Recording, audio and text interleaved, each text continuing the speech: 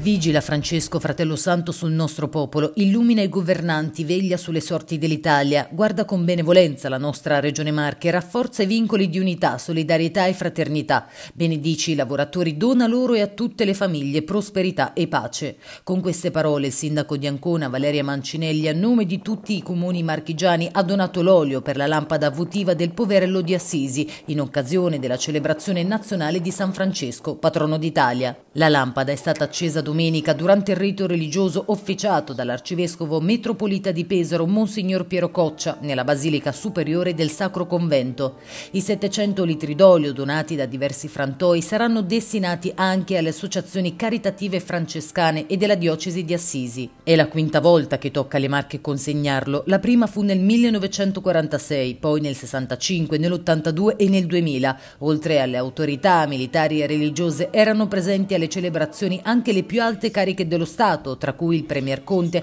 e una delegazione di 77 sindaci delle cinque province, prima uscita ufficiale per il neogovernatore delle Marche. È una grande responsabilità, è una grande testimonianza e anche un messaggio importante che bisogna dare perché credo che la presenza di del segno di San Francesco nella nostra regione è tangibile sia dal punto di vista materiale con tanti conventi, chiese, chiostri sia di San Francesco che di Santa Chiara, ma è anche stata presente nei secoli con un segno sociale oltre che spirituale molto tangibile. Credo che sia una bella occasione per il rilancio di questi valori e per il rilancio di un messaggio soprattutto in questo momento così difficile a causa della crisi economica, a causa della pandemia, ma anche e soprattutto a causa della ricostruzione che lascia al di fuori delle proprie abitazioni ancora, ancora tante famiglie e tante comunità.